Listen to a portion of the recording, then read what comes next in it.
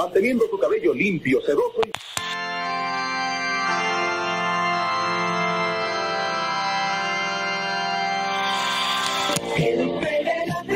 with no idea at all what life is like for everyday folks like us all.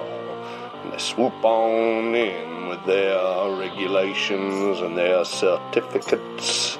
Don't no one tell me what I can or can't do, least of all no government type. And white robes were given unto every one of them. And it was said unto them that they should rest yet for a little season until their fellow servants also and their brethren that should be killed as they were should be fulfilled. Well, um, if I may, uh, the reason I keep bringing up this this hybrid uh, creature uh, is the uh, the wider relevance, um, and it is relevant. Uh, specifically in terms of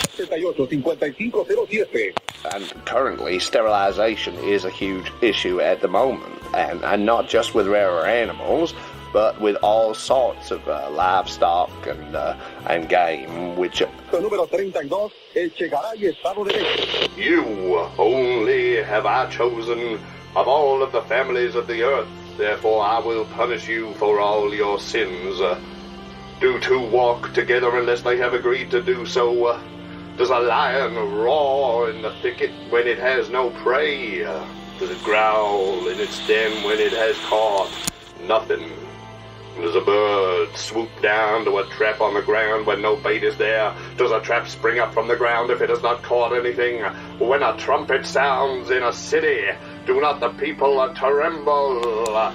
When disaster comes to a city, has not the Lord caused it?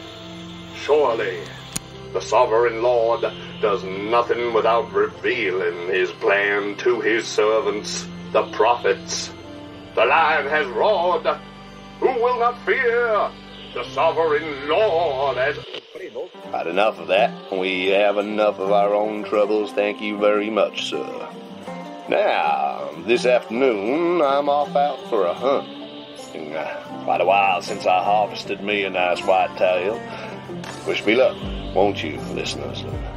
Speak soon. And just as Eve was deceived by the serpent's cunning, your minds may somehow be led astray from your sincere and pure devotion to Christ. Un You serpents, you brood of vipers, how will you escape the sentence of hell? The Apocalypse Players present Highway of Blood. A Call of Cthulhu scenario by Alex Guillotte, Ian Christiansen, and Davae Breon Jaxson. With Dan Wheeler as Quincy J. Lafitte. Dominic Allen as Edward Ed Mooney. Joseph Chance as Beverley Jack Carstairs. And Danann McAleer as the Keeper of Arcane Law. This is based on a true story. Part 5 Testing the Waters.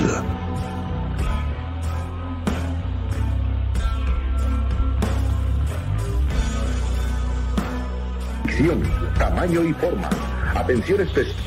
Yeah, so we'll say like En nuestra fábrica en Henry because we were getting a bit mired towards the end, obviously geographically last time. But you were basically you'd come up the main street, you'd pass Ridge Road on your right.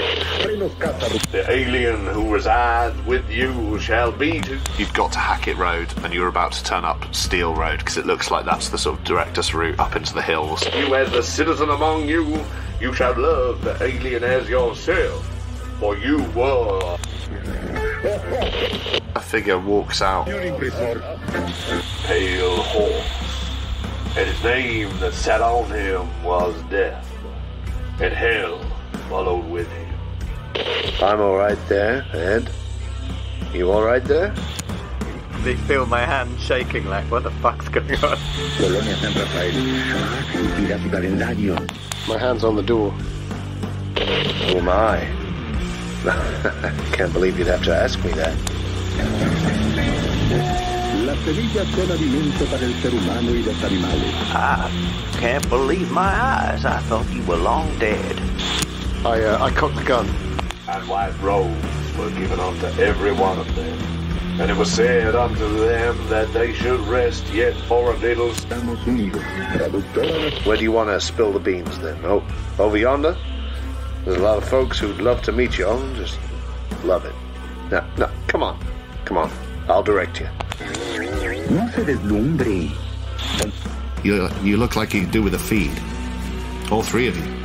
I, uh, I, Ed, Oh, um, these are my colleagues. Uh, um, this is uh, Jack Carstairs and uh, Quincy Lafitte.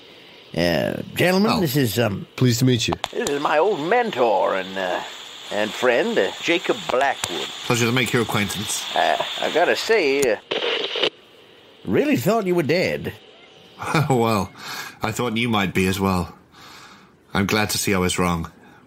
So, shall I take you down to the uh, the tents, or The tents. yes, be cooler down there. Plural, you say? Hmm. You got a you got a whole crew up here with you? Oh yes, you could say that. Uh, come on, I'll I'll scooch in the back and I'll Wait, direct. wait a you. minute. What What do you mean we could say that? Well, uh, You got a crew yes. up here or not?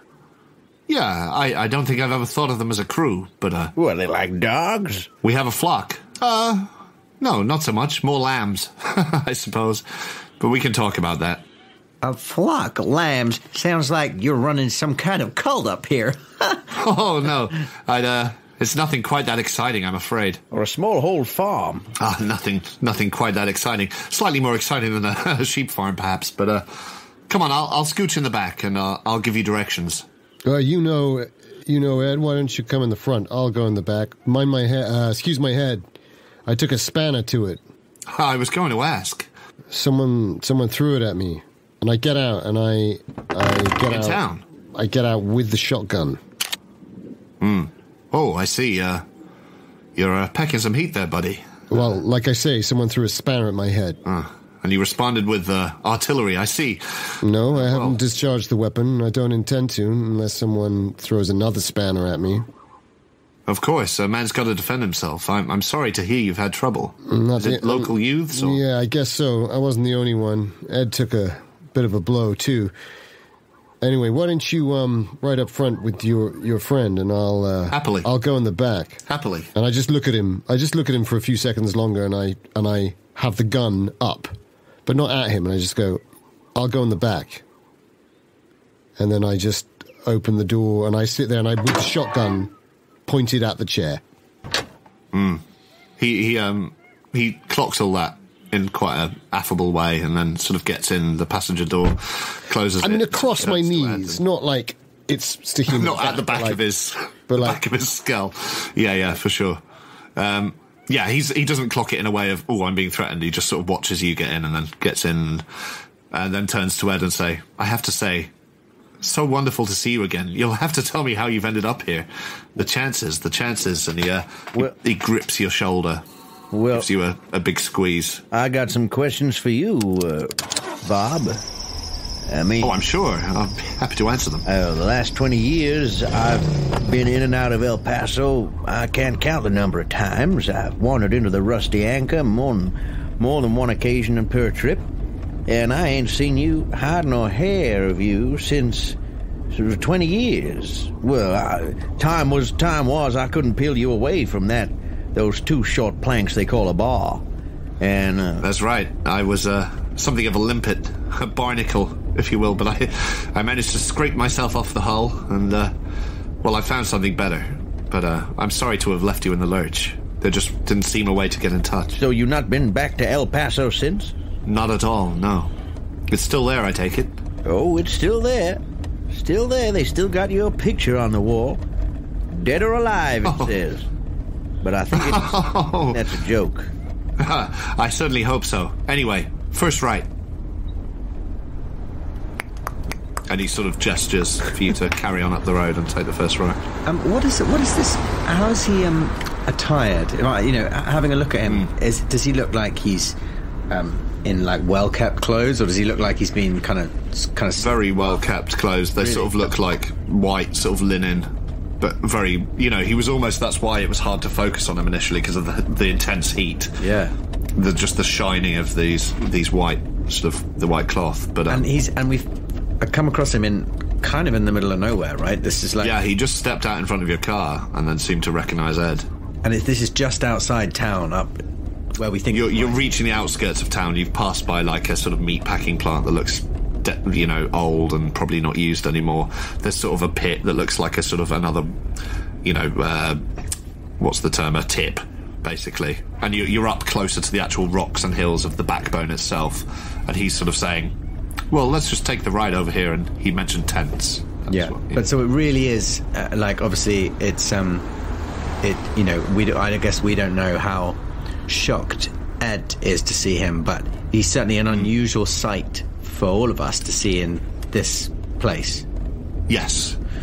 Great. Good. That's I'd say I so. I, do you think it would be fair to do a sanity roll, Ed? I'm not sure because he seems very normal. It's not like he seems like you remember him. I, I'm thinking maybe it isn't an initial sanity roll. However shocked you are, it's not like. It depends. I guess if you didn't But if know you he was think- dead, I yeah, I wasn't No, sure exactly. he was dead. I just assumed he was dead. Um, yeah. In those situations, I always get the players to do a power roll. See, see how they're feeling. Maybe that's good. Maybe it's when he grips you on the shoulder. You sort of. It feels like. It might be it's just the heat, actually. But it's almost like what people talk about with Reiki healing. Um, you, you feel like a sort of. A, quite a warm, sort of like. Sh- like a, a shiver go through your body, and you're not sure if it's because it's so odd being touched by a friend you haven't seen in a couple of decades, or. Or is the heat getting to you, or just the shock of the moment? But yeah, could you give me a power roll, and we'll see how you deal with that sort of moment of intimacy. It's that moment of electroacupuncture. Hmm. my power is extremely low. my sanity is even lower. As is your sanity, I believe. Yeah. But I've rolled a three. Um, Ooh, dramatic, dramatic freeze. Did I freeze?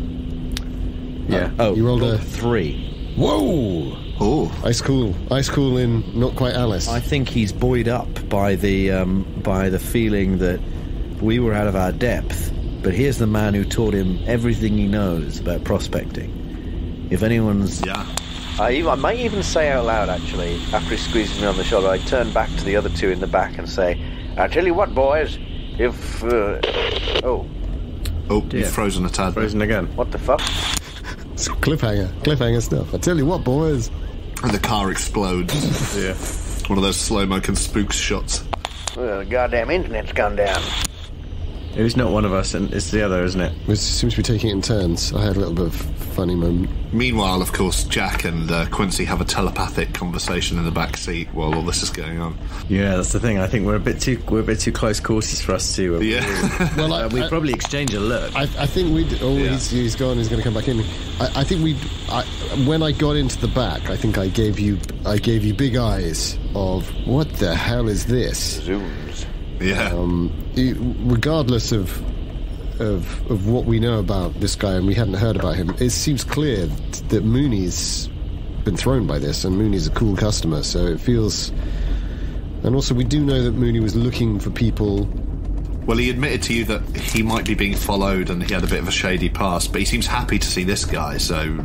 Yeah, well, unfortunately, it doesn't it doesn't really um, sit well with with me regarding Mooney. So I think I'm just trying to kind of gauge. Yeah, well, I had a very dubious, like, opinion of him anyway, following the uh, the bust up in the bar. Yeah, so I think maybe my look to you, Lafitte, is very much one of, what the hell are we going to do about this? And I wouldn't have thought that would take a psychology roll because I'm just kind of going Yeah, yeah. loads of flicking in my eyes back at the two of them and at you. I mean, I don't want to get us into trouble, but maybe maybe we should do power rolls. Because now I'm thinking about it. Maybe maybe Beverley maybe Beverley started to think about that. Going, I think Beverley started to think, where the hell was he? Wh- where was he? What was he doing up on this road? in the middle of yeah. in the middle of nowhere. So I'm I, I, I can't speak for uh, Quincy, who's a cooler customer, I think maybe in some ways. Well, more, certainly more experienced. Well, mm, I will take a power roll if you feel the need, and if you don't, um, a spot hidden. I'll, if you want to sort of, if you're analysing him as a person, I would love to take that opportunity. I feel like I definitely. That's kind of what I was I think. I think if I pass it, I'll join the spot hidden crowd. But if I don't, maybe I'll be a bit panicky. we'll see. yes, yeah, yeah, yeah. I was rolling the wrong dice. Do I want to do a power roll as Why well? was I rolling the wrong dice? It doesn't actually matter because it's still still a ninety. It's still a ninety-one. At least it wasn't a fumble. I'm going to say that I don't think I need to make a power roll. You haven't, you haven't told me I have to, so I'm not going to. No, no. It's more of a choice if you think you're carried a wood. I think it's all very fast and it's all very sort of distracted. So it was it was Jack that actually got out and sort of faced him with the shotgun and had a, more of an interaction. So maybe that makes more and sense. I think Lafitte actually isn't. Is a little bit more analytical rather than emotionally. Oh, oh, that's just. I've just passed my spot hidden. Just a regular success. So with the spot hidden, um, I think it's like because you're in the back seat still, aren't you? Like Joseph climbed, Jack climbed up into the front, and he um, he just sort of turns back to you both and sort of gives you a grin, sort of like a nothing sinister, more like a sort of ooh road trip, you know.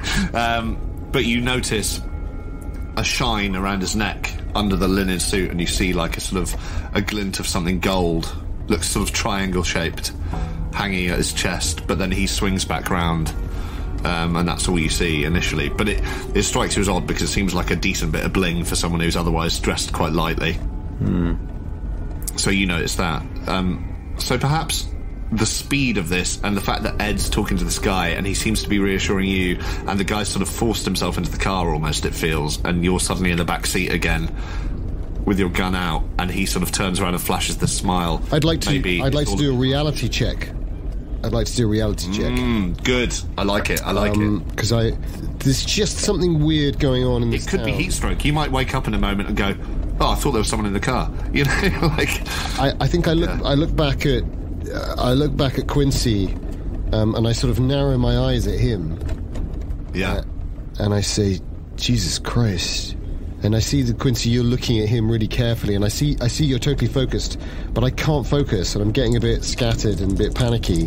Hmm. And I, and I think about my grandfather. Yeah. I think about, I think about the painting in the big white house, back in, back in Maine. And maybe you hear his voice just very briefly, very faintly. Oh yeah, the, the, that soft New England accent that is so Yeah. so so devilishly seductive. And as usual, it's something casual he says to you, something about the football scores or something. Yeah. You know, it's How are those mammoths doing? yeah. Tusks up, huh? Tuss up.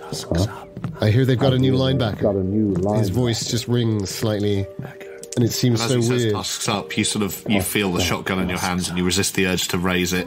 and, and just uh, blow this guy away.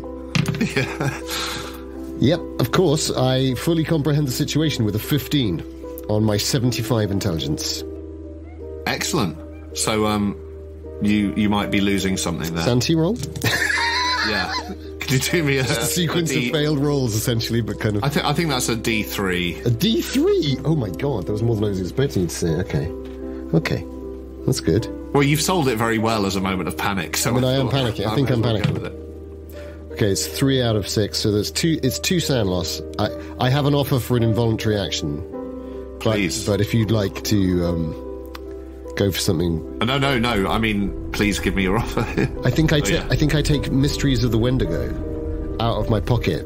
I think I do this weird thing where I just shove the shotgun over to you, Quincy, and I go, "Take it, take it, take it," and I and I get the uh, and I'm scrabbling around my pocket in my jacket, and I get this thing out, and I sort of squidge my my bloody rags around my head. No, they're not rags, but you know what I mean. Your vest and your tie. So there's a bit of blood, extra blood on my hands, and I get my pen, my pencil out, and I start furiously writing to Quincy Was a, a it's, note. it's wrapped in brown paper, so you're writing. Oh, even better. Yeah, great. I'll take the Yeah, yeah. brown paper and I'll I'll rip that off, and I'll be I'll be writing on it. And I think I'm being really secretive, but I'm behaving very strangely in this moment.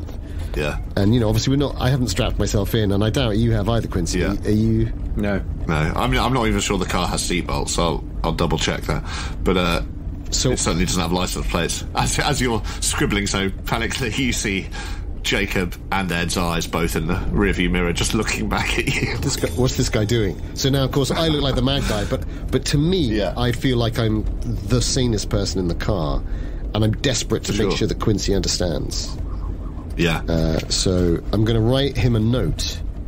Great, I love it. Uh, during which time I don't. You can do anything you want, Lafitte, because it's going to take me a few moments. Because I think I'm, I'm going to write it down right now. Obviously, this is all happening in a few split seconds, right? I mean, it's, Yeah, yeah. uh, and I and I sort of I hand you both the pencil and the the rest of the brown paper, crumpling. And I think I'm doing it surreptitiously, but I'm clearly not. There's uh, it's almost exaggerated stealth. Um, and it says, uh, uh, "Well, would you read the note? Would you read it, or, or would you just ignore it?" I think if you pass me a note, I'd definitely read it. Yeah. Uh, so uh, it, the, the note the note says, "I think this guy dash this Blackwood dash. I think he's working with the town dash. He's one of them underscored dash." And then it says, "What did you see?" Question mark. Just now, your eyes. I saw that you saw something. And then, and I'm handing you this pencil and this thing, and then I do exaggerated looking, and, and I and I start nodding to this little mini speech that is happening about and what a great prospector, mentor, and just how legitimate this guy is. I um, I just write down um, I just write three words. Funny looking necklace. As he passes it back, I look at him. my eyes widen. Come on, you motherfucking piece of shit. What the hell are you playing at, boy? Hit me the WhatsApp. Oh, he's back. What's happening? You back? This is a frustrating situation. Highly frustrating. Hey. Ed, you've you feel his hand move away from your shoulder. I try and make I try and make eye contact in the rearview mirror with the Whoever's whoever I can see on the back seat, just being like, "What's going on?" ah. well, I guess you can see um, Quincy because that's left-hand drive. You'll be you'll be looking out the back that side more. I, I think maybe you do catch because I'm quite frantic. Maybe I lean over and look at you wide-eyed, and I, you know, and I'm tall as well. So, um, and then I just kind of duck out of your mirror view as if I'm moving too much. Yeah, and you sort of hit a pothole and he goes, Oh, need to get that look there. And you, Jack blows the roof of the car off. And uh, unless you decide to uh, go against his wishes, he just sort of casually points you a couple of directions. You go along the uh, the end of this road and um, you pull out onto a more rough, a sort of uh, dusty sort of dirt track, basically. Um, you immediately see over the brow of a ridge these uh, succession of sort of white tents, very pure white sheets, uh, more like marquees really, with the the sides sort of free flowing. Um, looks very much like a sort of Baptist revivalist sort of setup, I suppose. That would be maybe the what what you'd recognise it as. How many Anyway, tents are we um, talking? uh, there's only like four, but they're quite big. They're sort of uh, marquee sized. Uh, three of them are anyway, and there's a smaller one um, at the head. But you, uh, They're kind of like kind of like scout tents. That's what I'm picturing. Like, could people sleep in? them? yeah, that sort of thing. It's like it, it obviously provides cover from the elements. Yeah, yeah. Um, but obvi- if there was a you know a strong wind, you kind of feel like they might be blown away unless Right, they're okay. tethered very strongly. Okay. Um, but from above, and the white obviously would soak up the heat and well do the opposite, reflect the heat. Um, yeah. So um, he sort of says uh, as you draw up closer, he says, uh, "Just here is fine." Um, I'll see if uh, I'll see if the Reverend's around, but uh, let's get you some water and let's uh, well let's see where we are. How, how many, sir? Yeah. Oh, go for forgive me. I, I was wondering if you, you actually had any gas. Oh yes, we've gas. That's fantastic. Well, are you in need? And he looks over. Actually, as you say that, he looks over at the. Uh, not the altimeter. What the fuck am I talking about? But he looks over and says, uh, "Ah, you are in need. Yes, um, we've uh, we can top you up here. No need to head back to the garage." Oh, that's most garage. kind. No, no rush. We, we'd obviously love to en- enjoy your hospitality. I, I can see you and our friend here have a lot to catch up on, but but maybe uh, Oh, do we? it, before we leave, maybe maybe you remind me to uh, fill up. That's for, and of course we'll pay. Oh yes, absolutely. Uh, we'll we'll get that seen to. Don't worry. And he uh, opens the car door and he says, uh, "For time being, let's uh, get into this shade, huh?" and uh, if you do step out, you're again reminded of just. Uh, I mean, it's about one in the afternoon, I'd say now, um, and it's baking hot. Like you know, you can barely see 200 yards ahead of you without that sort of mirage sheen. Um, and you're sort of so. I imagine you'd want to get from shelter to shelter pretty quick. It's Yeah. like living in Dubai. I say, I want to say to him like uh, I look around at the tents and I say, uh, "Well, well, uh, well, Blackwood, looks like you got a fair few folks working down here. How many people you got on this?" Oh, we got tons. Whole town. Well, most of the whole town. The whole town, you say? Eh, only Well, mostly, mostly. because uh, last I saw you, I mean, hell, you you were reticent even to work with me, let alone uh, a whole town. It's funny how people can change, huh? I'll I, uh, I guess I learned a few lessons in my wanderings, but uh, I found home. Yeah, about those wanderings. Where exactly did you wander, Jake? Is Well, yeah, not as far as you might think, but uh, I went down South America way. I went down Guatemala, Cuba, uh, Mexico. I, I wandered for a while, you know, and then I uh, I found the Reverend Osteen, and uh, yeah, you know, he just uh, he has this way of uh, bringing the right things together, and I realized it's what I've been missing the whole time. You know, I ain't no crazy. I ain't gonna try and indoctrinate you. Don't worry. I'm just, uh, I'm telling you my truth. Yeah. So you found Jesus, huh? Yeah, I guess you could say Jesus. Okay. well, I mean, listen, I don't know what you believe. Any of you gentlemen, I don't want to push anything on any of you, so I'm being a bit, you know, respectful in that regard. Look, and I will respect you. The thing is, what you got here is three scientists, so we're probably coming from a different place than you. But I think we can. I look around at the other two, and I, I, I sort of m- meet their eyes meaningful, meaningfully, and I say, I think we can all respect each other's beliefs here. We, we're we're looking forward to that glass of water you promised us. So, uh, Oh, yeah. let's get into the shade, and we can have a proper sit down catch up. Well, exactly. Uh, you know, whether you go by Fahrenheit or uh, Celsius, either way, you want some H2O. Haha, you science types. Come on in. And the, uh, he, it's not necessary because it's flapping in the wind anyway, but sort of pulls aside a, a sort of a white sheet and ushers you inside the, uh, the first tent. So we- I, I was imagining we were still in the car for that one. but We'd all got out of the car, had we? Well, you don't have to have done. That's what he does. He gets out of the car and sort of, you're pulled up right next to it and he sort of opens the thing and sort of gestures like a, No, no, great. I'm, I, I want to get out, but I want to put my shotgun in my duffel bag. Yeah, absolutely. You've got time to do that. He's, uh, just sling the. He turns his back as well to open it, so you can do it without. I don't. I'm not hiding. Seeing it. I'm not hiding it. I'm just sticking it in. Okay. I, I don't want to particularly scare anyone, but I'm just going to put it in No. and have my hand on it, so it's on my shoulder, and it's got like Yeah. m- it's got my stuff in, which is not that much stuff. It's just also, as you all remember, like on the back seat, you've also got. Uh, I think it was Quincy who grabbed it, but like you all grab changes of clothes, and you also grab the groundwater testing stuff. So that's all also in another hold or on the back seat. Yeah, I just bring my own bag with my um my personal equipment. Yeah. Well, I think maybe as we look back at it, and I, I look at you, Quincy, and I say, but loud enough for Mooney to hear. Um, I say, I guess we'll leave the stuff here, right?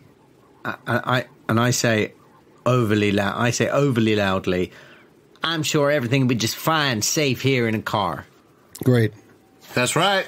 Although, uh, hey, when in Rome, feel free to pull up the car actually. And he starts dragging the cloth back a bit further, and you can see even in the car, you can see now into the the tent, and there's like sort of rows of like maybe ten seats, like wooden chairs, 10, 10 a row, sort of facing a sort of little raised area. And he says, uh, "You want to drive it on through? Keep it out of the the heat." Otherwise, it'd be like getting into an oven. Well, no, that's not a bad idea. Sure thing, Sure. pal. Great. I'll follow your lead. You want to do that, Ed, or shall I? Uh, well, I don't mind. Uh, no, no bother. Uh, Sure. yeah, I, you, you would. Uh, well, uh, wh- why don't we? Why don't you and I drive it in together? Uh, Yeah. I look at Quincy nervously. Uh, I think I think maybe you should. You know, you, you know Mr. Blackwood. Maybe you should stick with Mr. Blackwood. Why don't you? Uh, here, why don't you take my bag, Quincy? And I hand over the bag, and I and I give it a little pat. And I, as I, as you do that, I hand over the car keys to my other hand, and I lean right in and whisper to you, I don't think we should drink the water. And, and I whisper, I whisper back, "What the hell was he doing out there in the middle of nowhere?" He, I thought he was dead. Um, yeah, well, And if you look up, you see him waving you in like someone waving an airport uh, aeroplane down. Yeah, yeah, Sort of nice. big smile on his face. Landing back in reality, I, I do a big smile back. You're right, Jack. My peripheral vision ain't so good in those tight squeezes. no doubt I'd knock over all those chairs. I remember, he says. Do you you you bring the car in? I suppose. I'll I'll get I'll take the keys and I'll, I'll start the cut. I think I do get in, and for a split second, I see the the baking heat and the open expanse, and I think about Doc Brenner saying the sands shifting, Yeah. and I think, God damn it, maybe I could just drive. Maybe we should just drive. Yeah. And I and I look at my two colleagues, and I don't know, maybe friends, probably colleagues, maybe friends. I don't really have many friends.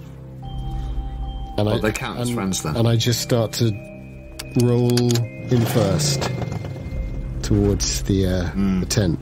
Well, he he holds the cloth back for you and uh, lets you set up just behind the sort of the last row of pews. Um, looking re- re- your rear view, thinking about the drive. Maybe I could, maybe I could escape. You see uh, the sort of dark shape of the town, and you do see that white pinnacle in the middle, which is the uh, that whitewashed, uh, yeah, white church, yeah, the wooden church, which uh, is now between you and Thunderbird Gifts, but the town itself. Yeah, yeah. Um, and it just sort of sticks up like one good tooth in a bad mouth, you know.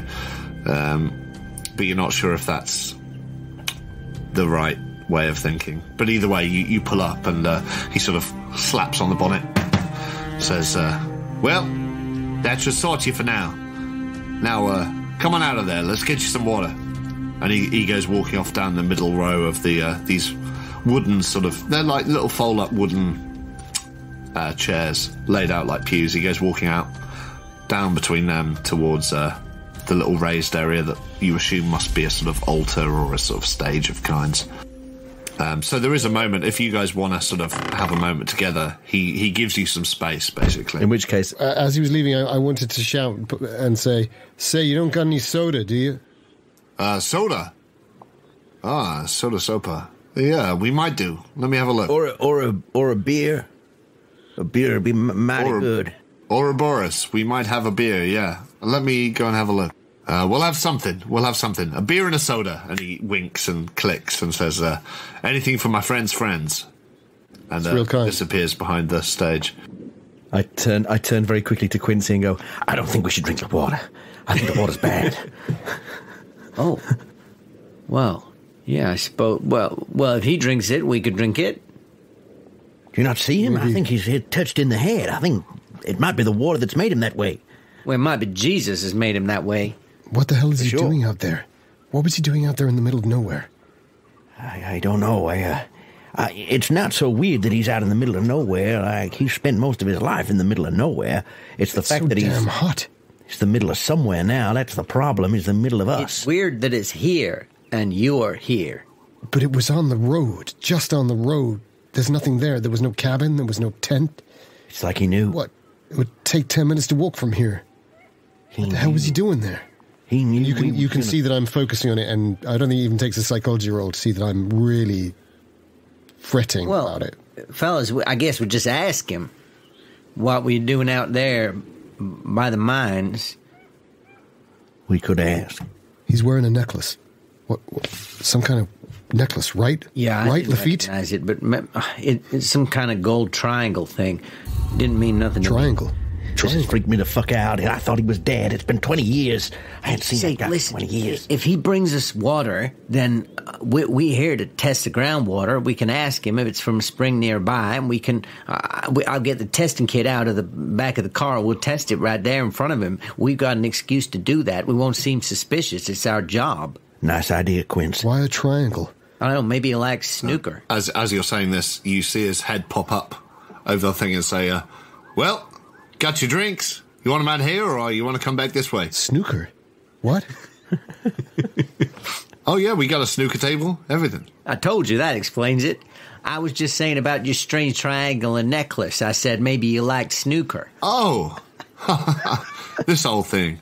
Yeah, well, is that is that like pool? He uh, does the but- uh, one more button up on his shirt, and he says, uh, "It's a silly religious thing. Uh, yeah, I, I, yeah, I won't waste your time with it, you scientist types, as you say. But uh, we got your drinks here." And he puts down a tray on the stage, and it's like there's a couple of glasses of water. There's somebody says, uh, "Peach iced tea as well. We do the best here." I know uh, you might have heard that from Robert, but we really do. Uh, yeah. Uh, I found you a cerveza. Oh, that's great. Say, do you mind telling me, is this water from the, is it local or is it from a bottle? Oh, yeah, yeah, yeah. From the well. Oh, that's fantastic. We could, I believe we could, if it's all right with all the rest of you, we could kill two birds with one stone, so to speak. I don't know whether that's an offensive term to a religious man, but basically what No, I no, mean is no. we're here. Not too many birds out here. Test the, I've noticed, I've noticed. We're here to test the groundwater. Uh, maybe if you don't mind, I'll get the kid out of the car and I could just test a glass of it right here. It saves us a job. Oh yeah, absolutely. Uh, huh, that'd be mighty interesting. Uh, Thanks. Well, uh, you get your kid out, and uh, yeah, well, I, I can guarantee that the uh, the peach iced tea and the, the beer, obviously, they're bottled, so uh, you know you could drink them without any fear. Oh, there's Um, no but, uh, fear. it's just yeah. because it's our job. I thought might as well, rather than dig around in a dusty old well, I could you you pulled it up for us and just Oh, it in a yeah. glass. Absolutely, absolutely. Thank you. So I will go to the back of the car and get the testing kit out. So, uh, Ed, what have you been up to these years? I'm sorry to ignore you there. Um, sorry, what was your name again? He says to you, Jack. Oh, um, Beverley Carstairs. My friends call me Jack. Beverley. Ah, Jack. Well, I'll be your friend if you don't mind. Jack, that's, uh, uh, uh sorry to ignore you, but I haven't seen this man in so many years. You're not ignoring me. Ed, you, you still knock around with, uh, well, the old crowd? Uh, well, Still into that, uh, contracting? Uh, more or less, yeah. I uh, after the last time I saw you, we I was um I spent a bit of time um you know prospecting as it were. Uh, oh yeah. And um well, shit, I mean uh, well, the years fly by, don't they? And um, well, prospecting wasn't what it was, that's for sure. And I have to say, I got into Say that again. got into a bit of a tight spot one time. I realized I'm getting on, but getting too old for going up into the hills on my own. Is that where you got this, uh, nasty little, uh, line of yours? Uh, well, in a manner of speaking, I suppose. Uh, it was you, uh, it was you, Jake, who got me into that side of the business. And, uh, that was one problem, was it got a bit too hot, a bit too hot now and then, and, uh, I thought I don't need to wind up with some gangsters laying me cold, and, uh, but the real, the real thing that kept me out of the hills was, yeah, the isolation, I suppose. You get to a certain age and you realize if I get stuck up here on my own, uh, well. Sasquatch ain't giving you no loving, right? exactly. Yeah, Sasquatch, all right. or something else. Well, there's always something else. Anyway, so There's always, yeah. I went straight. I uh, got into the uh, associated with the uh, Department of Energy here. It's a kind of prospecting, I suppose. Uh, certainly, I know. And that's my what brings you and your friends down here. That's right. That's right. Well, what a happy coincidence. I'm so indeed. pleased. I'm I'm EPA, uh, Environmental Protection Agency, but of course we we have a partnership. We work very closely. yeah, it's a sort of federal thing. Uh, you know what their suits are like. Mm. When you when you say EPA, he sort of salutes in a sort of slightly casual way, but a sort of confused way, as in, I'm not sure how to respond to that, but does a little, well, thank you for your service. Beverley smiles broadly at that. These Finds Washington it, finds it amusing. They send. Uh, you got, can't just have one man doing one man's job. You got to have a team of ten, huh? you know what it's like. well, you're not wrong. Yeah. Soldiers of Christ. What? And then uh, I imagine at that point Quincy's coming back with the gear from the the car. Yeah, and as I hear this, Um, I just say, Quincy J. Lafitte. I, I, I work at um, the university over in Austin. I was just uh, hired for this job. I, I think maybe Jack, you're you're the best place to uh, run the tests on this water here. I can see there ain't no bugs in it. That would be my territory. Hey, that's right. You're the bug fella. That's right. They call me the Tiger Moth King. Do they now? Do they now? There's only one king around here. No, I'm joking. I'm joking. But uh, you seen anything of interest recently since you've been here? Anything we need to be uh, looking out for? Sadly, not. I, I I haven't really had much of an opportunity to um, snoop around, but uh, no, uh, Ah. I think I guess it's too hot and arid here. Um, I imagine you get no beetles or nothing like that. Hmm. when he says that, yeah. Do I get the impression that he's uh, that that is a a, a loaded comment? Do me a psychology. Thank you. Roll. Hoping you'd say that. I um, I, I crack the peach iced tea open, Mm. um, and and set about getting the uh, getting the equipment ready for a, a quick test. Nice. Oh, okay. My psychology is just the base, but I'm going to do it anyway. Mm. I mean, why not? Is there anything particularly insectoid about this man? I could do an entomology check. No, not really. I mean, the person to ask would really be Ed. Um, as to what he looks like.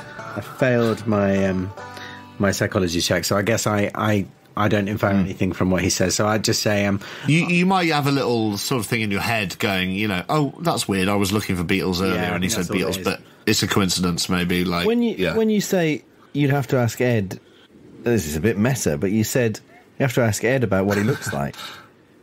yeah, yeah. Does he look like Jacob Blackwood? Yeah, he does. My point was really, I don't want to fuck with anything you've put in your backstory. Oh, I see. Right, right, right. No, I haven't. I haven't. If you see what I mean. I haven't said anything about what he looks like or anything. I just said that. Cool. I didn't think you had, but I didn't want to suddenly go, oh, well, he has a long, shocking blonde hair. and you're like, no, he was bald. He was always bald. Giving us a veiled clue there. That's all I meant. Um, but, but actually, why don't you describe how he looks as he smiles at you across this uh, tented area? Well, he's got waxy skin. He buzzes when he talks. Um, Yeah, sure, sure, sure. His his carapace sort of rubs together as he shuffles along. his eyelids sort of close like that way. Well, that way. Yeah. Normal guy. If only he had one pupil in each eye. But My name's Jacob Blackwood. um, what am I rolling? Spot hidden. What was I rolling? I don't think you're rolling anything. You were just Oh. telling us what he looked like. Oh right. Um, I've no idea. he can look what like whatever. I guess. Well, basically, when he asked me about the beetles, I um, if if I don't infer anything from him, I just say, uh, Uh, well, now I, I, I did think I, I might have heard um, Death Watch Beetle up in the uh, the uh, the bar up there in town, but you know nothing out of the ordinary. But as I say, it's a bit dry and arid for most m- most insects here. Uh, Although, of course, you know, insects can survive in all kinds of climates. I imagine you have a lot of scorpions, other kind of arachnids, maybe the, the tailless whip scorpion. That's one of my favorite insects. Oh, yeah. Say, although I am really a mothman. Not not like a moth. A mothman. Not, not like the cryptid. I think I heard about that guy. No, I, Big old buttocks on him. but he, uh, yeah, the old Mothman. I, yeah, we have scorpions up here. I tell you what, the the tailless scorpion that'd be a relief. Uh, most of the scorpions we get up this way, they're tailed, and uh, we get rattlers. Uh, I don't know if you're snake people, but uh, yeah, I'd say uh, don't linger too close to any uh, rocks out there. Did you say Uh, snake people? Anyway. Yeah, I don't know if you're snake people, but we get rattlers. Oh, I already told you I'm a mothman. Fucking hell. He's a Mothman. I don't know if either of the other. I don't know. the Insects give me the creeps more than snakes, I'll be honest, because insects, they're like aliens, ain't they? Yeah, I suppose you could say that. They were here before us, and they'll be here after us. I insects. True enough. True enough. Cheers. And he uh, he cracks another peach tea and sort of uh, chinks it against uh, Jack's, whether or not you want him to. He does anyway. No, no, I, I will. I'll, I'll cheers and I'll down. I'm assuming at this point you've sort of you've followed him down towards the stage area at the front. Yeah, yeah, yeah, yeah. I, Cheers, yeah. I, sort of, I was imagining equipment was slightly on the stage. I'll down that peach. Uh, are there several? Uh, there's like four bottles, yeah. Um, and he has he has a bit of one. You crack one. Um, any any of the rest of you? Do you want to? Well, you want to test some uh, water, right? Yeah, but I'll, I'll make a, a I'll make a point of literally downing, like it's a sort of. Oh, lovely. Says, uh, hey, you got some thirst on you. I'm not surprised. The boiling heat. You guys must have been. Uh, you must have been suffering on the way down here. Yeah, this uh, this hat of mine doesn't do much. It was as hot as a. Oh god, it was as hot as a euphemism. An armadillo's asshole. Yeah. Can be. As can hot as be. a hot as a date on prom night, right? Anyway, anyone else for a peach ass tea? Ed? he hands you one. I'll, I'll have the cerveza, I think. I'll uh, I'll snake up Ah, an ice cold brewski there, and um, I I would take an iced tea and just I'd, I'm just sort of sipping it, trying to keep uh, keep Jacob as as engaged as possible. Uh, although I'm weird, I am strangely charming, so I, I'm just sort of trying to buy. Uh, But what's your character like? Touche. Um, I'm, I'm just trying to buy Jack enough time to uh, like to test the water and do anything he does, and, and just trying to keep Jack, keep Jacob talking basically. So yeah, I'm, I'm having a little sip of Yeah. my iced tea. Great. And um, have you got the equipment out though? Yourself? Yeah, I all, Uh, the whole time, the whole time I've been setting it up. Yeah, excellent. Um, so let's say as as the small talk goes on, you, you get to the point where the equipment's ready to test. Um, now, speaking as myself, I'm not an expert in uh, what one would use to test water. I assume it would be some sort of uh, touch paper thing where you sort of get a level of the pH. And Yeah, it's going to be all about the litmus and uh, and Yeah, there'll be yeah. some kind of device that you can dip in. Yeah, I, I I will let you know that you do also have uh, Geiger counters and that sort of thing because obviously you knew you were coming to an old Drive the car up, drive the car up, get out the uh, yeah twenty-eight pound. As a joke, as a joke, wh- while while Carstairs is doing that, as a joke, I snatch up the Geiger counter and go. Well, I gotta say, I gotta say, Blackwood, it's been so long. I, I best check. We best test you, huh? And I wave the Geiger counter in his face and be like, Is that really you? I can't believe my eyes sometimes. And he says, "It is, yes." um, and your Geiger counter almost explodes. Really? Um, you get a very high reading off Fuck. the Geiger counter. Christ. Fuck. I mean, like a I, uh, reading that like he shouldn't he shouldn't be alive. He's he's a sick man. Yeah, you, you, it, it suddenly starts beeping wildly as soon as you sort of. Wow. That way it does. Well, I think I definitely take a step back from him when I see that. He sort of laughs it off and sort of says, uh, "Well, I knew I shouldn't have gone down those mines earlier." Yeah, I'll say. It's uh, you feeling? Always tempting. You feeling all right? Oh there, yeah, old it'll just be the dust. It'll just be the dust there. Uh, it doesn't do any long term damage, especially if one's uh, in touch with the Lord. Oh, I suddenly feel like we're in an episode of something from Fallout 3 or something. Children of Atom. I should uh, change out of these clothes, I suppose. Sorry, I didn't mean to uh, startle you fellas. And he immediately takes off all of his clothes. And he's just stood there naked in front of you. And he says, uh, I've got some more back there. Uh, I hope you don't mind. Um, feel free to burn these. I, I think that might be wise. Uh, you you yes. You should um. You're the You scientist. should try to see a doctor. That's uh, that's a high dose you got there. Well, funny you should say that. Old Brenner's on his way over. I hope he's bringing sunblock. I pick up the duffel bag and I walk back to the stage with it and I unzip it and I take the shotgun out and I put it next to my equipment. But I don't say anything. Well, let me go and get something on. You don't want to see me uh, naked as the, the baby Christ. It doesn't bother me. anyway. Oh, that's the last thing we want. Oh, well, thank you very much, Mr. Quincy. and he laughs and he uh, walks around back behind the stage and out the back sort of flap of the tent. Once he's gone, I put the Geiger counter next to his clothes. Does it react? Yeah. Yeah, it reacts quite strongly. Oh. Again. Yeah, maybe it was just the dust on her clothes, on the clothes there, but he sh- that's that's not right. Well, none of this is right. Maybe if he wasn't down there long, he'll he'll be all right. Do you want to run that that counter over the water here? Yeah, I do. I I, I pass it over the water. I, I carry on prepping the test. Um, I'm assuming because you're you, you were well aware that you were heading to an old abandoned uranium mine area. It's mainly radiation that you're looking out for. Although you know, I'll let you know if you sort of find anything else as well. Well, also, I would assume that one was the chemical impurities and the other is obviously so it's the impurities that would carry the radiation, right? Um, I, I Yeah. would Yeah. thought so. Like, And then I- there's trace levels of, of minerals in, in it that Yeah. are irradiated, if that's the right term. And and the, the thing that I might be interested in if there's a if there's if we've got all the different kit is that is to see if there's any um like bio, biological particles if there's any um bac, any bacteria in it or something you know there would be we would expect there to be some bacteria in it is is there any you know so I guess Yeah. those are the sort of things that I, I'm, I know we're asking you quite a lot but No, no, it's good. I mean, Our chemistry. Test. I Well, it depends how we go. Yeah.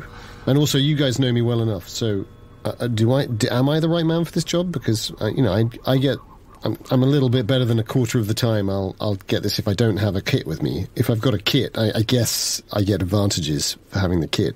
oh, with the kit, I imagine it's sort of a done deal to a certain extent. Don't- as in, don't you fuck it then up. do it Yeah, again yeah, if you get a sort of an outlandish response. But uh, um, I'm not an expert in how long these things take, but I would say it might take about five minutes to like until you're sort of certain.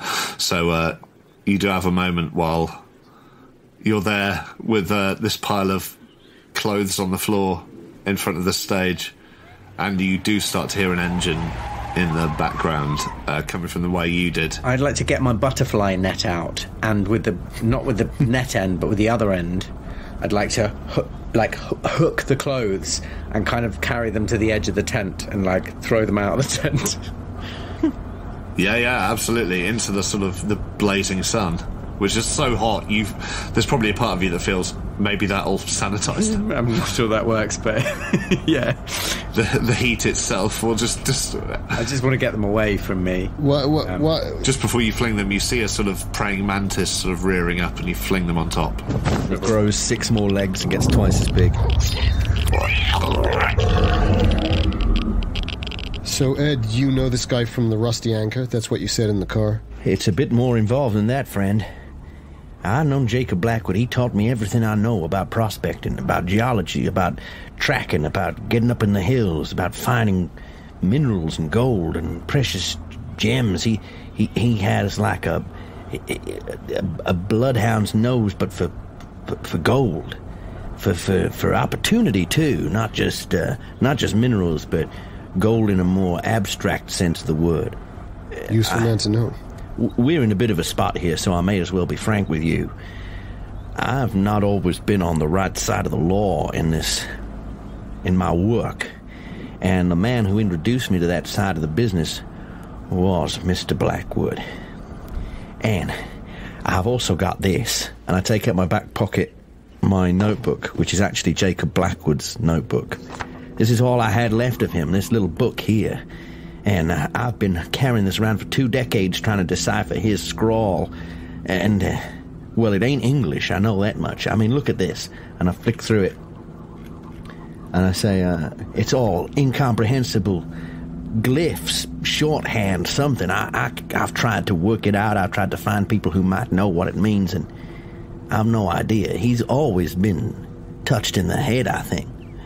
Uh, the thing is, you go out there in the hills on your own in baking heat, you do get addled. I've had my fair share of strange turns and feeling like I've seen things I don't really understand. I know it's all in my head, but, you know, you have to fight your way back to sanity. You have to come back to the rusty anchor, back to town. You have to get back to the people you know and to yourself. You lose yourself out there. Uh, 20 years? He may not be actually dead, but he ain't the he ain't the Jacob Blackwood I knew. This Osteen, this Reverend Osteen, you he ever talked about him before? I can't say that he did. Um, at that, Jack, could you give me a, a power roll? I would love to. My lowest attribute, 45. Sure. And that is a 49. So it's not um, a huge thing, but you you feel a wave of sort of nausea come over you, and you feel a bit sick suddenly. Um, you feel like you want to sort of get away from the conversation and find someone to throw up, but you might. I mean, you didn't fail by much, so I'd say you sort of keep it down. Um, I think, but you think maybe it's the heat getting to you. It's Or the radiation. I mean, Fucking hell. or the radiation. Yeah, I mean that's also an option. You could be like U571 in here in a minute. The the engine that you all heard earlier, you you hear getting closer, and um, if you look back, you see a car sort of coming towards to sort of pull up where you pulled up before.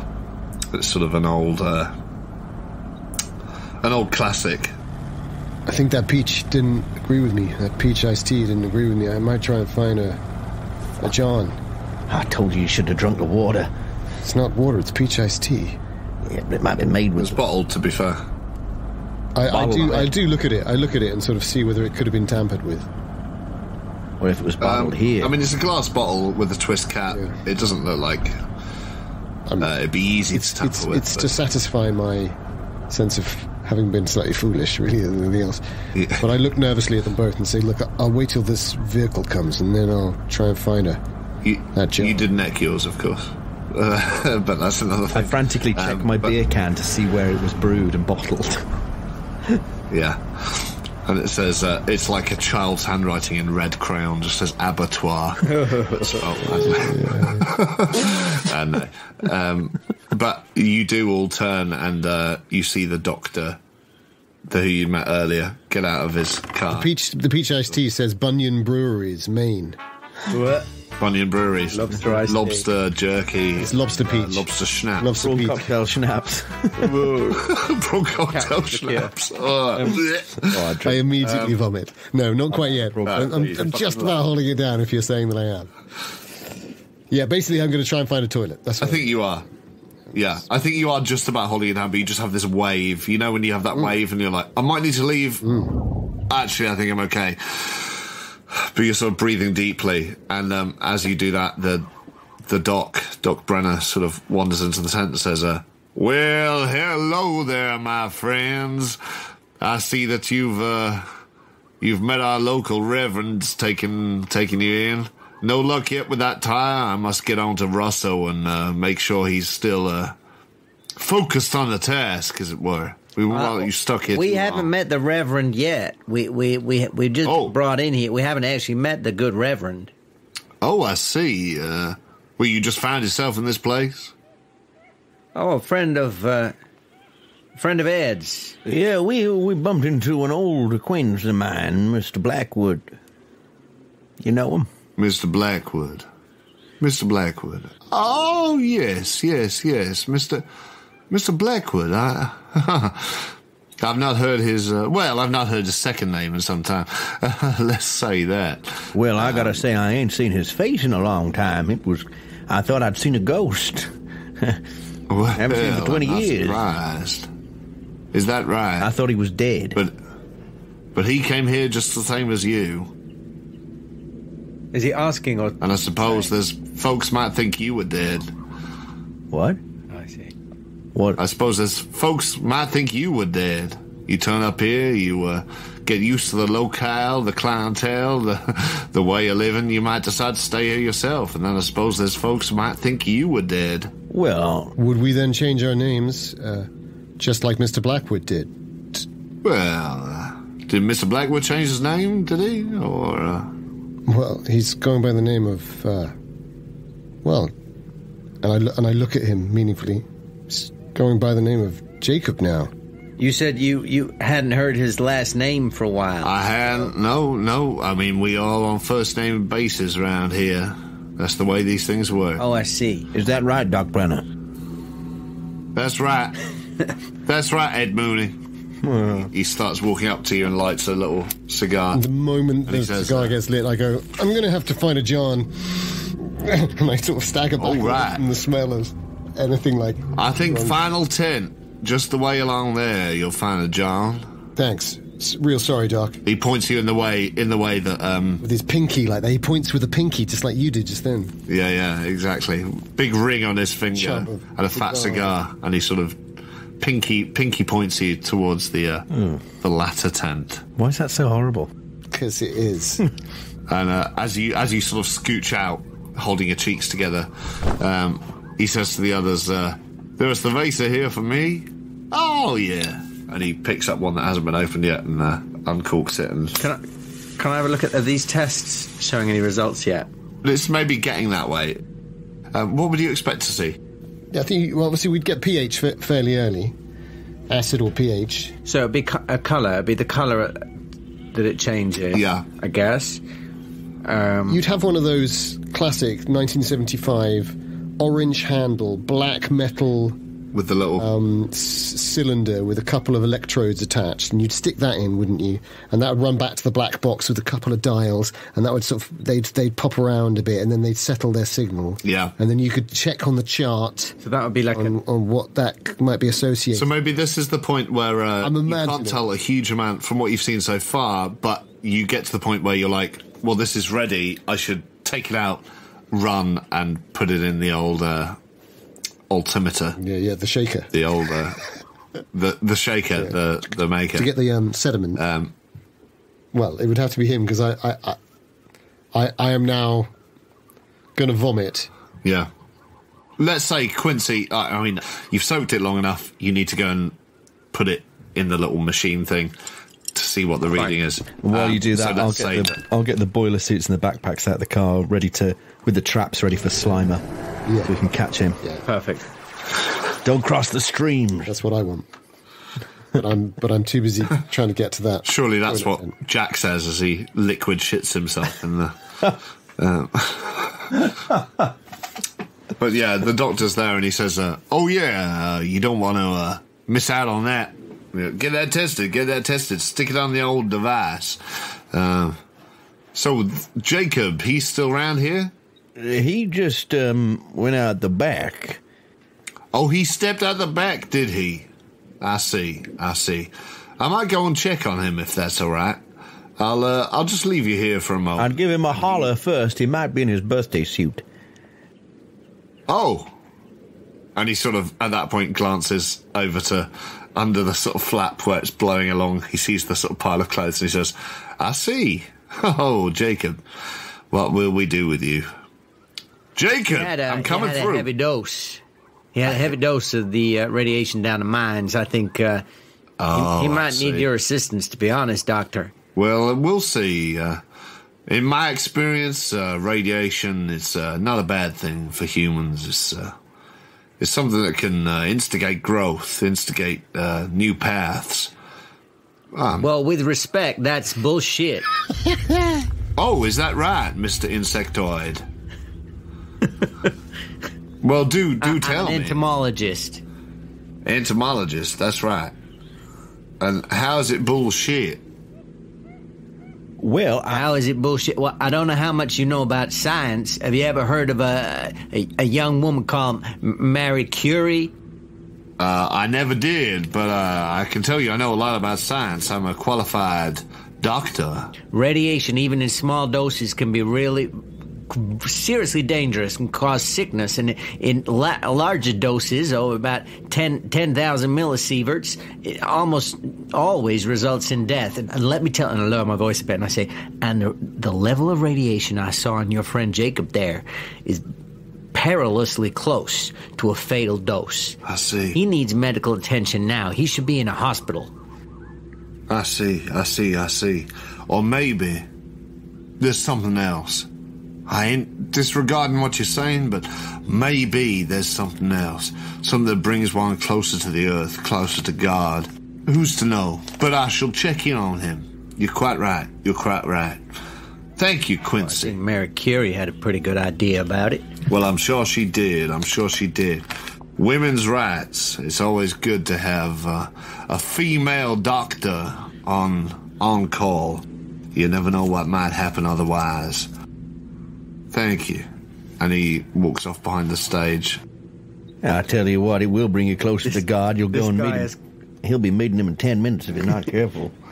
This guy is rapidly rising up my list of most hated NPCs. and he's still below that He's nine-year-old kid. He's terrible. yeah, he's still below not quite as around bad as the nine-year-old. um, so for a moment, uh, the two of you are there, and then I'll cut back to Jack in a in a second. I definitely, I definitely say what I said about um, meeting meeting God. yeah, yeah. And I'm just muttering to myself, saying, um, Radiation may do some good causing growth. And the man's a doctor. Well, I hope I don't get sick in this town. I don't want to be treated by some kind of quack. I look after myself, thank you very much. The only growths we're going to be leaving with tumors, tumors all over our body. Well, quiet. Jesus Christ, what have we got ourselves into here? What is this? A cr- crazy town. I've been to some crazy towns. Let me tell you, I've been to crazy towns. I've been to a town where they, they, um, they all, they all kept the women indoors all the time. Women weren't allowed out. That was a religious thing as well, I think. But this is even, this is even more whack. Hey, listen, I, I was born in Jacksonville, Florida. I, I, I, I know crazy. Where are the kids? There's no kids in this town. Ain't that strange? And as as you say, no kids in this town, and that's strange. Have we seen a single lady? Have we seen a single lady? Have we seen a single lady or a married lady for that matter? as as Ed sort of stands there twisting his palm around, saying all the single ladies, um, yeah, and sort of working himself into a Beyonce style uh, dance off. Um, Jack, uh, you you you go past a couple of these tents, and you see a very small sort of. It's basically a porter cabin. It's like a little outdoor thing. Um, you you've seen them before. You know that's where the toilet is, and you go in and you. I assume make your ablutions. You sort of you do feel quite sick, so I imagine you you you are a bit sick, like you physically. I mean, I, I would open the door and check to see whether instantly going into a porter cabin is going to make me vomit anyway. Sure. Um, is it is it acceptable? Yeah, it's like sawdust, and like it actually smells a bit herby and fresh cut sawdust. It isn't. It doesn't seem like a sort of Glastonbury toilet. Perfect. With a degree of relief, I will I will vomit into the uh, into the into the bowl. Yeah. Um, and can you do me a listen roll? Uh, with a penalty for vomiting at the same time, or after vomiting? No, as in as your sort of your your ears are popped slightly from the vomiting, but um, let's forget the penalty. Just in the afterglow. Yeah, In the, afterglow. in the afterglow. afterglow. It's Yeah. just beautiful description. Thanks, thanks, Daniel. Really, you're a poet. in that sort of um, you really are. You really that's, that, that semi-euphoric moment where that you have the adrenaline still pumping, but, but you don't feel nau- nauseated anymore. That's it. In a way, it's the it's the best you ever feel. isn't it? That single mouthful of eggs and, and bacon that that I nearly got in my mouth before the table was thrown over and the fork went out of my hand. So just got I've got I've got the whiff of that, a bottle of peach Before Mooney whatever it was I had. the shit out of the bar. Yeah, I it's not a good mix, basically. It's- I mean, I barely got anything in me. Breakfast of champions. Breakfast of champions. Ooh. Hmm. Oh. It's quite a lot of luck. Is it quite a lot of luck? I think I'm going to spend five luck. It's not that much luck. Five's all right. Well, yeah, but I d- I'm being influenced by Wheeler here. The Wheeler, the Wheeler ploy is working on me. I'm going to do it. ploy. I'm going to do it because I've got I've got Great. really nervous. So I'm going to spend five luck to just pass. Well, thirty-five. as you 30. sort of Now I- Now finish the afterglow and you sort of step up and you mop your I think with your sleeve there's not really any paper so you sort of mop your mouth with your sleeve and you you push the door to open a crack and you're right next to the sort of uh remember there was like three or four like bigger tents and there was a smaller slightly more pinned down white tent which is right next to the John and you hear this sort of uh this straining sound um, from over there. It sounds like someone in a great deal of pain. Not someone else defecating because they couldn't. Get No. the job. Well, they could be. To be fair, they might have tried to wait and then run back painfully into the tent. I, I mean, I was always, believe it or not, guys, I was always going to try and do this whole trip out to the John so I could have a look thing. That's why I downed the peach tea. Wasn't expecting to be sick, which I'm a bit nervous about, but yeah. hell, I'm out here anyway, so my plan is still kind of basically working. And I, I take a nervous glance back up at where I know my two colleagues slash hopeful friends might be, Yeah. and uh, and then I just, I think I just sneak over. Do I stealth over? I think I'm just going to walk over, as if I'm, you know, doing the right thing. Yeah, yeah. Um, so you, you get to the edge of this uh, this sort of linen tent, and as you sort of reach the edge of it, you do hear this sort of uh, this heavy breathing and this sort of this sort of straining sound. But this one's Um, pinned down, and so there's. yeah, this one like like the sides aren't flapping as much in the wind. I can't just look underneath. No, you can maybe like pull the sort of sheets Yeah, I'm apart. I'm gonna look but it would be a more obvious movement than I'm going to look for an opening, see if there is any kind of. Yeah, there is on the side. There is. Um, it's where two sheets are there. They're both pinned into the ground, but you could. You get the impression you could sort of pull them apart and, you know, stick your face through. I think I take a cigarette. I take a cigarette out from my because I've got them in my rolled up sleeve. I've got my cigarettes, so I take the cigarettes out and I and I light it, put them back in my sleeve, and I look around as if I'm admiring the landscape. Great. All clear. All clear as far as you can tell. Yeah. There aren't three trucks with guys with farm implements driving up and 14 arms. Hockey masks and chainsaws. Not that you can see. I'm not saying they're not there, but you can't see them. Yeah, sure, sure. I, no, I'll take that, Jim. I'll take that. That's kind of you. Yeah, yeah. Okay, that is generous. Um, and then I think I'll, you know, lowering the cigarette down, I'll just have a little peek. Yeah. Great. So you, you you have a little peek. Just as you exhale, you sort of stick your head through it, and for a moment, it takes a moment for your uh, eyesight to adjust. You know, from the bright heat into the what is essentially darkness, although it's sort of glowing through from the, the white sheets. And what you see on the floor seems to be um, a cross between, like, how to describe it, sort of somewhere between a tumour and a hairball. Um, and it's writhing on the floor. And you can see Been spat up, right? bits of.